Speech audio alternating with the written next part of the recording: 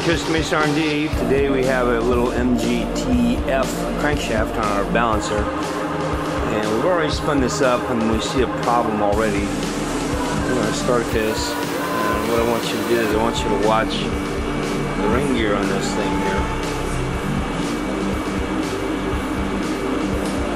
You see if the flywheel is nice and steady.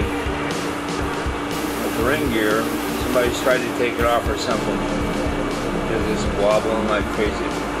So this is one of the things you have to check before you uh, balance a flywheel, is to make sure the ring gear is on correctly. So, just another little hint here, Costa Mesa R&D. We'll see you soon.